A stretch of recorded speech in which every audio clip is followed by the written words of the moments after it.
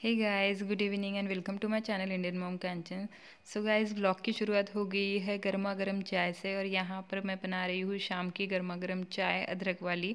और काफ़ी मज़ा आ जाता है अदरक वाली चाय जब मिलती है शाम को और ठंड के मौसम में तो काफ़ी ज़्यादा मज़ा आता है गर्म गर्म चाय पीने में अदरक वाली। मुझे तो काफ़ी ज़्यादा अदरक वाली चाय पसंद है और यहाँ पर आप सोच रहे होंगे वो ग्रीन ग्रीन क्या है चाय में?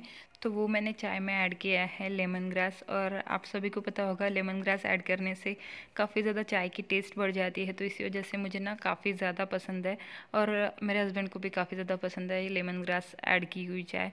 तो इसी तरह से मैंने थोड़ा सा लेमन ग्रास भी ऐड कर दिया है इसमें और बॉईल हो रही है चाय तो अभी थोड़ा सा दूध डाल दूँगी उसमें और फिर उसके बाद हम लोग चाय पियेंगे गर्मा गर्म क्योंकि अभी थोड़ी देर पहले उठे थे, उसके बाद फ्रेश हुए हैं सारे लोग। और मैंने सोचा चलो स्टार्ट कर देती हूँ व्लॉगिंग क्योंकि आज मैं आप लोगों के साथ शेयर करने वाली हूँ मेरा इवनिंग टू नाइट रूटीन मतलब मैं इवनिंग से लेके नाइट तक क्या करती हूँ तो वो सारा मैं आज आप लोगों के साथ शेयर करने वाली हूँ।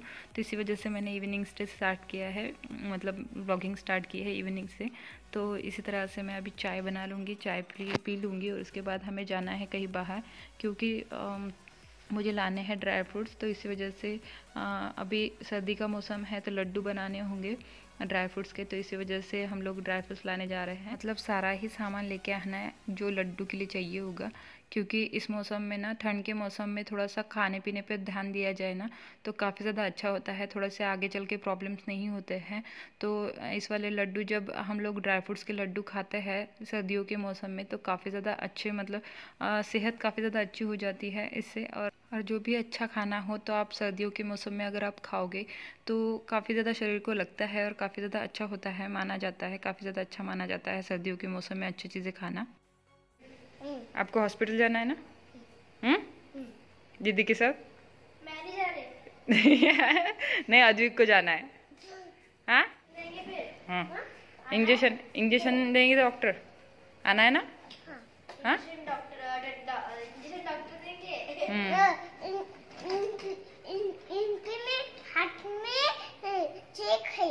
किसके हाथ में चेक है?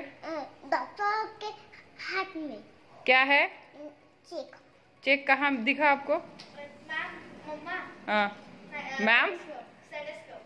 स्टेटिस्कोप डॉक्टर के हाथ में चेक है बोल रहा है स्टेटिस्कोप को है ना? स्टेटिस्कोप को ही बोल रहा है ना कल लेके गए थे इसे हॉस्पिटल। थोड़ा सा क्या बोलता है? क्या था? जुकाम था उसको क्या थोड़ा सा फीवर चढ़ गया था उसे। और माही को भी लेके गए थे माही को एलर्जी हो रही है पता नहीं काय एलर्जी हो। रही है।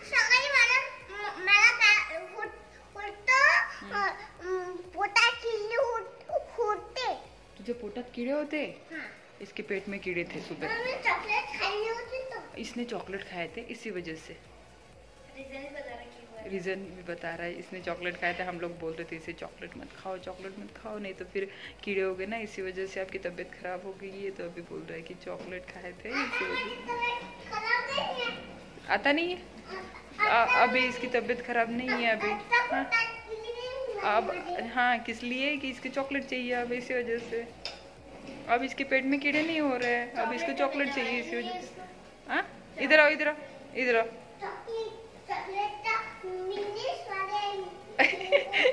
इधर आओ चॉकलेट तो मिलने ही वाली है।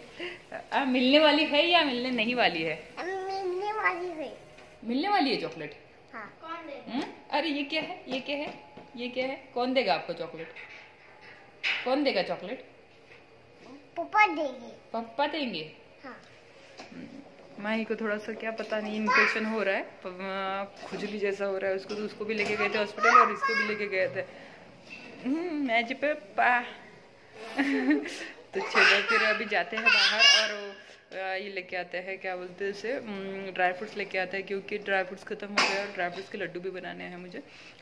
डिमार्ट से अगर ड्राई फ्रूट हमेशा आप लोगों को पता है ड्राई फ्रूट डिमार्ट से लेते हैं बट लड्डू के लिए ना कुछ ना कुछ मतलब अलग अलग ड्राई फ्रूट चाहिए होते हैं और वो एक मिनट एक मिनट में बात कर रही हूँ ना।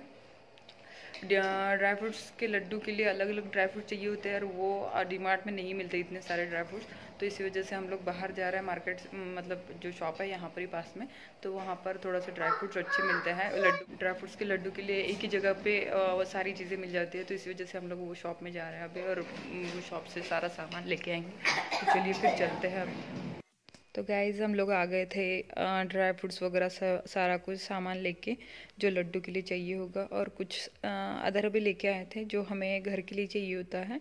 तो कुछ हमें याद आ गया था कि ये ख़त्म हो गया है तो जैसे कि काला चना ख़त्म हो गया था तो वो लेके आए थे। और यहाँ पर ये अद्विक को काफ़ी पसंद है, राजगिरी के लड्डू तो वो लेके आए थे। तो इसी तरह से कुछ सामान लेके आए थे और आपको ड्राई फ्रूट्स के लड्डू की रेसिपी चाहिए होगी तो मुझे कमेंट करके ज़रूर बताना। मैं आप लोगों के साथ ड्राई फ्रूट्स के लड्डू ज़रूर शेयर करूँगी। आप मुझे कमेंट करके ज़रूर बताइएगा। आप लोगों को इंटरेस्ट हो तो मैं आपके साथ ज़रूर शेयर करूँगी। मुझे भी काफ़ी ज़्यादा अच्छा लगेगा आपके साथ शेयर करने के लिए कि मैं किस तरह से ड्राई फ्रूट्स के लड्डू बनाती हूँ। तो ये सारा सामान था ड्राई फ्रूट्स के लड्डू के लिए।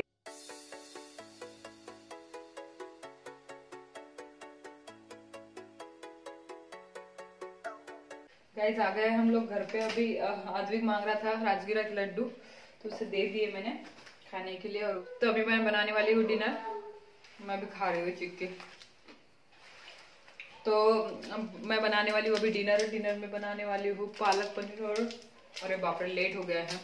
उधर से आने में ही लेट हो गया तो चलिए जल्दी जल्दी से पालक पनीर बनाते हैं और फिर मिलती हूँ आपसे। गाइज़ यहाँ पे पालक पनीर बनाने के लिए हमें सबसे पहली स्टेप जो करनी होगी वो है पालक बॉईल करना होगा। तो यहाँ पर मैंने पैन चढ़ा दिया है, सॉस पैन चढ़ा दिया है गैस पे और उसमें पालक ऐड कर दूँगी और वो बॉईल होने तक वेट करूँगी और उसमें ना थोड़ी सी चीनी अगर आप ऐड करते हो थोड़ी सी एक दो चम्मच चीनी अगर आप ऐड करते हो ना तो उसका जो पालक का कलर है वो भी बरकरार रहेगा, पालक का कलर भी वैसे ही रहेगा ग्रीन ही रहेगा और उसमें एक और चीज़ है कि पालक का जो कड़वापन है, वो जो कड़वाहट होती है पालक में, वो भी चली जाएगी उससे तो इस तरह से आप अगर बॉईल करोगे तो काफ़ी ज़्यादा अच्छा होगा। तो इसी तरह से थोड़ी सी चीनी आप ऐड कर दीजिएगा। जब आप पालक को बॉईल करते हो, वहाँ पर मैंने ऑनियन जो है वो चॉप कर लिया है चॉपर में। चॉपर में इसलिए चॉप किया है क्योंकि मुझे फाइन ऑनियन चाहिए होगा इसके लिए। मुझे पेस्ट नहीं चाहिए होगी इसी वजह से। और यहाँ पर मैं पैन में तेल ऐड कर रही हूँ थोड़ा सा जब तक हमारा तेल गर्म होता है, तब तक मैं मसाला पीस लूँगी यहाँ पे। यहाँ पर मैंने लिया है चार हरी मिर्च और आठ से दस काजू और एक टमाटो बड़ा वाला। तो उसको मैं पीस लूँगी अच्छे से मिक्सी में और उसके बाद यहाँ पर तेल गर्म हो चुका था हमारा तो उसके बाद मैं उसमें ऐड करूँगी तेज पत्ता। तेज पत्ता अच्छे से हो जाए मतलब उसमें आ, तेल में अच्छा सा उसका टेस्ट आ जाए मतलब अच्छे से भून जाए तब तक हमें उसे भूनना है। और उसके बाद उसमें ऐड करूँगी मैं जीरा तेज पत्ता भूनने के बाद। और उसके बाद में ऑनियन जो है, हमारा चॉप किया हुआ ऑनियन ऐड कर दूँगी और उसको भी अच्छे से चला लूँगी ताकि वो गोल्डन ब्राउन अच्छे से हो जाए। और इतना फाइन चॉप किया है ऑनियन कि गोल्डन ब्राउन जल्दी ही हो जाएगा मतलब उसके लिए टाइम नहीं लगेगा। बट इसके लिए आपको पेस्ट करने की ज़रूरत नहीं है, आपको पेस्ट नहीं चाहिए होगा इसके लिए, क्योंकि अगर आप पेस्ट करोगे तो इतनी अच्छी टेस्ट नहीं आएगी। आप उसमें चॉप ऑनियन ही ऐड करना फाइन चॉप किया ऑनियन और उसके बाद हम लोग इसे गोल्डन ब्राउन होने तक वेट करेंगे और उसके बाद हम उसमें ऐड करेंगे जिंजर गार्लिक पेस्ट। मैंने जिंजर गार्लिक पेस्ट ऑलरेडी बना के रख दिया है और हाँ यार मतलब थोड़ा सा ना हिंदी बोलने में थोड़ा सा प्रॉब्लम होता है। आ, हम लोग मराठी डेली बोलते हैं तो हिंदी बोलने में थोड़ा सा प्रॉब्लम होता ही है। जो भी लैंग्वेज वाले हो अगर आप कोई भी लैंग्वेज यूज़ करते हो तो हिंदी में थोड़ा सा प्रॉब्लम तो होता ही है अपनी लैंग्वेज बीच में आ ही जाती है। तो काफ़ी लोग बोल रहे हैं यार आप लोग आपको हिंदी नहीं आती है आप ऐसे हिंदी बोलते हो वैसे हिंदी बोलते हो। बट मैं सोचती हूँ कि आपको समझ में आ रही है मेरी लैंग्वेज तो बस इतना ही काफ़ी है। बट फिर भी मैं एक ही बात दोहरा के आपको बता बता के थक गई हूँ कि मैं महाराष्ट्रन हूँ, मेरा थोड़ा सा महाराष्ट्रन तड़का तो आएगा ही हिंदी में। मुझे माफ़ कर दो, अभी मैं बता के थक गई हूँ आप लोगों को। और इसमें मैंने अभी इसके चक्कर में आप लोगों को बताने के चक्कर में मैंने आपको बताया भी नहीं कि जो मैंने टोमेटो का पेस्ट था, वो मैंने उसमें ऐड कर दिया है। और उसके बाद उसमें थोड़ा सा नमक ऐड करेंगे। नमक ऐड करने के बाद उसके थोड़ा सा मतलब जो टोमेटो है, वो जल्दी गल जाएगा अच्छे से।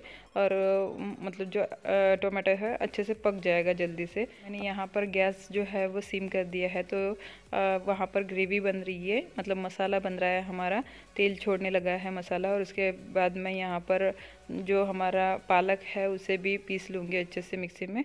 तो और आपको थोड़ा सा ज़्यादा ग्रेवी चाहिए तो थोड़ा सा पानी ऐड कर सकते हो, जो पालक का पानी है, वो भी ऐड कर सकते हो उसमें। बट मुझे ये रोटी के साथ खाना था तो इसी वजह से मैंने ज़्यादा पानी उसमें ऐड नहीं किया। ये हमारा मसाला भून चुका था तो उसमें मैंने ऐड किया है धनिया पाउडर एक चम्मच एक चम्मच लाल मिर्च पाउडर और आधा चम्मच क्या बोलते हैं, हल्दी पाउडर और उसमें मैं ऐड कर दूँगी अभी जो पेस्ट हमने बनाया है पालक का, वो पेस्ट ऐड कर दूँगी। और आप देख सकते हो पेस्ट बिल्कुल ग्रीन है, क्योंकि हमने उसमें चीनी ऐड की थी, इसी वजह से और काफ़ी ज़्यादा मतलब अच्छी टेस्ट आएगी। आप ऐसे इस तरह से आप करके देखोगे पालक पनीर तो। और इसको मैं स्टीम आने के लिए रख दूँगी, थोड़ा सा मतलब पकने के लिए रख दूँगी। और कम आँच पे और उसके बाद मैं यहाँ पर ऐड करूँगी गरम मसाला उसमें ऊपर से। तो थोड़ा सा मैं यहाँ पर एवरेस्ट का गरम मसाला यूज़ कर रही हूँ, आधा चम्मच तक। तो वो ऐड करूँगी और ताकि मतलब ऊपर से ऐड करने का रीज़न ये है कि उसकी टेस्ट काफ़ी ज़्यादा बढ़ जाती है। गरम मसाला ऊपर से ऐड करते हो तो। और काफ़ी, उसके बाद मैंने वो जो पीसेस काट के रखे थे, पनीर के, वो ऐड कर दिए हैं। उसके बाद हमें इसे ढक के रख देना है। ताकि वो अच्छे से पकने लगे। मतलब जो पनीर है वो अच्छे से ग्रेवी में पके। तो इस तरह से मैं उधर धनिया भी चॉप कर लेती हूँ। और ना ये चॉपर से मुझे काफ़ी ज़्यादा फास्ट चॉपिंग आती है। मतलब फास्ट काफ़ी ज़्यादा फास्ट होती है मेरी चॉपिंग इस वाले चॉपर से। मुझे चाकू से वगैरह काटना नहीं आता है जल्दी जल्दी। ये वाले चॉपर से मुझे काफ़ी ज़्यादा अच्छे से जल्दी जल्दी काटना आता है। तो यहाँ पर मैं जो कसूरी मेथी है वो भी रगड़ लूँगी। थोड़ा सा हाथ पे रगड़ने से ना उसकी टेस्ट अच्छे से आ जाती है। और उस वो भी ऐड कर दूँगी। अगर कसूरी मेथी आप ऐड करते हो ना, काफ़ी ज़्यादा टेस्ट बढ़ जाता है। मतलब होटल जैसा आप पालक पनीर घर पर बना लोगे इस तरह से आप अगर बनाओगे तो होटल जैसी ही टेस्ट आएगी बिल्कुल और आप बना के देखना, ज़रूर ट्राई करके देखना ये वाली रेसिपी काफ़ी ज़्यादा अच्छी लगेगी आपको। और उसके बाद मैं यहाँ पर एक क्यूब ले रही हूँ, वही पनीर का। और उसके बाद मैं उसमें ग्रेड कर रही हूँ ऊपर से मतलब गार्निशिंग के लिए। काफ़ी ज़्यादा अच्छा लगेगा। जैसे आप होटल में खाते हो उसी तरह से। और हमारा गर्मा गर्म पालक पनीर रेडी है यहाँ पर खाने के लिए। और आप भी आ जाइए, खा लीजिए। और बस यहाँ पर मैं प्लेट्स लगा दूँगी खाने के लिए, डाइनिंग पे। और उसके बाद हम लोग डिनर करेंगे, क्योंकि सभी लोग वेट कर रहे हैं और सभी लोगों को भूख लगी है क्योंकि ऑलरेडी लेट हो चुका था। क्योंकि मैंने आपको बताया था कि हम लोग बाहर गए थे, उसके बाद मैंने आने के बाद खाना बनाया सारा तो उससे काफ़ी ज़्यादा लेट हो गया था और हम लोग ना रात को राइस वगैरह नहीं खाते हैं, काफ़ी कम खाते हैं। कभी कभी चिकन वगैरह रहा तो ही फिर राइस वगैरह बनाती हूँ अदरवाइज़ ना राइस वगैरह नहीं बनाती हूँ मैं। रोटी और सब्ज़ी से ही काम चल जाता है रात का हमारा। और सुबह बच्चों को चाहिए होता है, इसी वजह से राइस बनाती हूँ। माही को ज़्यादा राइस पसंद है, इसी वजह से राइस बनाना पड़ता है, नहीं तो राइस तो किसी को पसंद नहीं है। मतलब मुझे भी इतना ज़्यादा पसंद नहीं है और इनको भी नहीं पसंद है तो इसी वजह से हम लोग रोटी ही खा लेते हैं रात को भी और सुबह भी। बट बच्चों के लिए बनाना पड़ता है। इसी वजह से सुबह मैं बना लेती हूँ दाल और चावल बच्चों के लिए और रात को नहीं बनाती हूँ। और रात को कभी चिकन वगैरह रहा तभी बनाती हूँ। अदरवाइज़ बिना चावल के भी हमारा काम चल जाता है। और बस यहाँ पर हम लोग डिनर कर लेंगे। आप भी आ जाइए डिनर करने के लिए। और ये ना सुबह की सब्ज़ी थी आ, आलू की। मतलब ग्रेवी वाली सब्ज़ी बनाई थी मैंने आलू की। और वही ये ले रहे हैं क्योंकि इनको ग्रेवी वाली मतलब एक दो सब्ज़ी रही ना खाने में तो अच्छा लगता है इनको तो मुझे नहीं चाहिए होता है। मुझे पालक पनीर ही खाना था तो इसी वजह से मैं वही खा रही हूँ। इनको ये साथ में ले रहे थे, आलू की सब्ज़ी भी। तो बस यहाँ पर अद्विक थोड़ा सा ज़िद कर रहा था, क्योंकि उसे अलग प्लेट में खाना था और खा भी नहीं रहा था। उसे खुद खाना था, खुद के हाथों से। हम लोग खिला रहे थे तो वो नहीं चाहिए था उसे, खुद के हाथों से खाना था।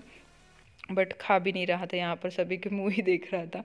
तो इसी तरह से यहाँ पर खाना हो गया था और मैं बर्तन साफ़ कर लूँगी यहाँ पे और उसके बाद मेरे जो क्लीनिंग है वो कर लूँगी। मतलब जो नाइट टाइम किचन क्लीनिंग होती है, मैंने ऑलरेडी आप लोगों के साथ मेरे night time kitchen cleaning routine share की है। अगर आपने वो वीडियो नहीं देखा है तो आप प्लीज़ वो वीडियो भी चेक कर लेना। उस वीडियो का लिंक आपको डिस्क्रिप्शन बॉक्स में मिल जाएगा या तो फिर वीडियो के एंड में दे दूँगी मैं आपके लिए वो वीडियो का लिंक। तो इस तरह से मैं बॉईल कर रही हूँ दूध को क्योंकि बच्चों को रात को दूध चाहिए होगा इसी वजह से दूध को बॉईल कर रही हूँ।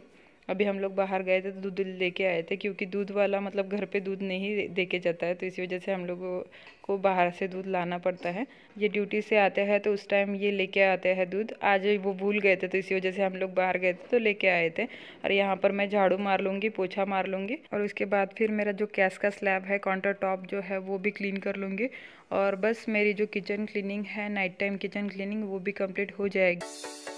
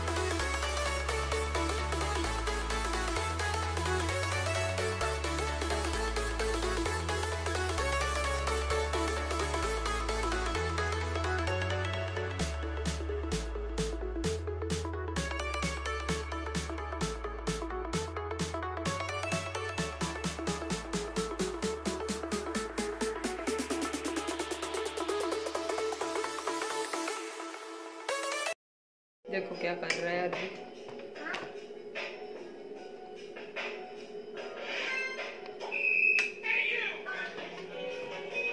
चलो दूध पी लो पहले। अद्विक क्या कर रहे थे आप? गेम गेम खेल रहा था अद्विक हम्म क्या कर रहे थे? दूध पी लो पहले। ये बंद कर दो। बंद हो गया। दूधू दूध पी लो। गरम गरम है गरम है रोको। दे दो ना। दे दू? दे दो। मेरा हाथ में दे दो। चम्मच निकाल लो। गुड बॉय हो ना? हाँ। हम्म, चल। सो गाइज़ अभी जाके टाइम मिला है आप लोगों से बात करने का। सारे काम हो चुके हैं। मतलब बस अभी सोना ही है हमें। दो हम्म, दे दो दे। दो ना। तो चलिए फिर इस ब्लॉग को यहीं पर एंड करती हूँ। आई होप आपको ये मेरा इवनिंग टू नाइट रूटीन पसंद आया होगा। अगर पसंद आया तो वीडियो को लाइक शेयर एंड चैनल को सब्सक्राइब ज़रूर कर देना अगर आपने नहीं किया है तो। और आप चाहो तो मेरे दूसरे चैनल को भी सब्सक्राइब कर सकते हो। उस पर मैं प्रोडक्ट के reviews beauty related tips videos haul videos makeup videos इस तरह से डालती रहती हूँ। और आप में से कोई अगर मराठी मुझे देख रहा है तो मेरा एक मराठी ब्लॉग चैनल भी है तो आप चाहो तो मुझे वहाँ पर भी सब्सक्राइब कर सकते हो। दोनों चैनल का लिंक आपको डिस्क्रिप्शन बॉक्स में मिल जाएगा। प्लस इंस्टा का लिंक भी आपको डिस्क्रिप्शन बॉक्स में मिल जाएगा। आप चाहो तो मुझे वहाँ पर भी फॉलो कर सकते हो। तो चलिए फिर मैं मिलती हूँ आपको अपने नेक्स्ट ब्लॉग में। Till then bye bye take care and love you all bye Advait good night बोल दो। गुड नाइट हाँ? गुड नाइट गुड नाइट सभी की तरफ़ से गुड नाइट आप सभी को। और आप जब देख रहे होंगे ब्लॉग तो गुड मॉर्निंग होगा तो सभी के लिए गुड मॉर्निंग भी।